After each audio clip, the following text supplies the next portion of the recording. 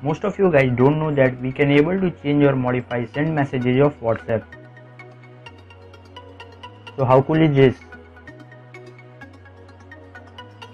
Hello everyone, myself Sameer and you are watching Samsoft Tricks and this time I am back with something really interesting.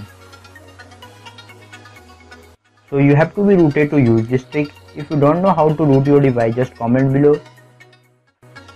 So look at my chat before changing it and we are going to change it. So you have to download this application from the description box below. Once downloaded, install it and you may get unknown source error. Just click on the settings, turn on unknown sources and then again install the application and it will be installed.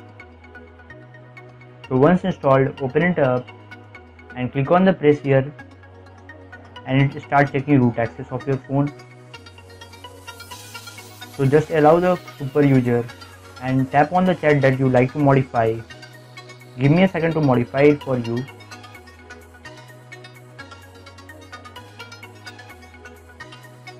Once modified, just go to the WhatsApp and you can see that the chat had been changed successfully. You can take a screenshot of this chat and send to your friends and your friend's reaction is just like this when I read this. But the chat does not change from the database server, it only changes from your phone.